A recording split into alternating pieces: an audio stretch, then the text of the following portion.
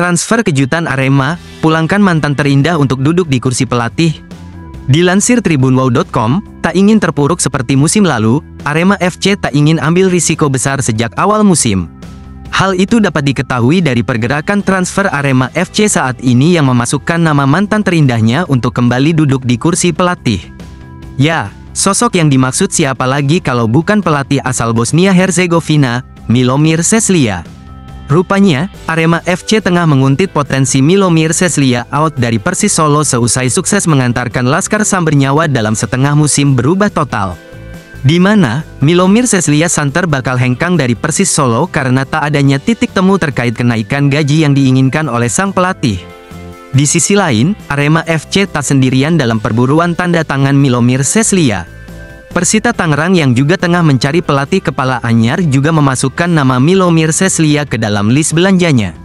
Kabar masuknya Milomir Seslia ke dalam bidikan kursi pelatih Arema FC diungkap oleh akun seputar sepak bola Indonesia, at garis bawah FT, Sabtu, tanggal 25 Mei tahun 2024. Jika Milomir Seslia out dari Persis Solo, kabarnya Arema FC dan Persita tertarik untuk mendatangkan pelatih asal Bosnia-Herzegovina tersebut, tulis at transfer news garis bawah FT.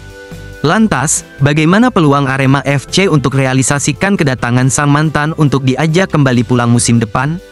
Tentu, merujuk kondisinya saat ini, kans Arema FC membawa kembali Milomir Seslia terbuka lebar. Faktor historis hubungan kerjasama keduanya bisa jadi sebab, di mana Milomir Seslia nampak berjodoh dengan Arema FC karena kerap tuai kesuksesan kala membesut Johan Alvarizi DKK meski hanya berjalan singkat. Hubungan kerjasama Milomir Seslia dan Arema FC sudah terjalin sejak 2011 silam. Saat itu Milo hanya menduduki kursi pelatih Arema FC selama dua bulan saja terhitung sejak Oktober sampai dengan Desember tahun 2011. Barulah di dua periode kepelatihannya bersama Arema FC selanjutnya ia sukses beri kenangan indah untuk Aremania.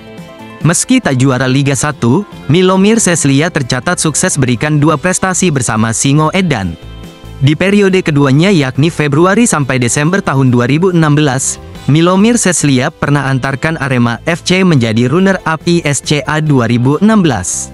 Selang tiga musim kemudian tepatnya kurun waktu Januari sampai Desember tahun 2019, Milomir Seslia sukses antarkan Arema FC meraih trofi Piala Presiden 2019. Dua prestasi itu nampaknya menjadi dasar Arema FC untuk coba kembali jalin kerjasama dengan mantan pelatihnya tersebut. Sebagai informasi, rapor Milo bersama Persis Solo yakni 10 laga raih kemenangan, satu imbang dan tujuh kali kalah dari 18 pertandingan yang dilakoni.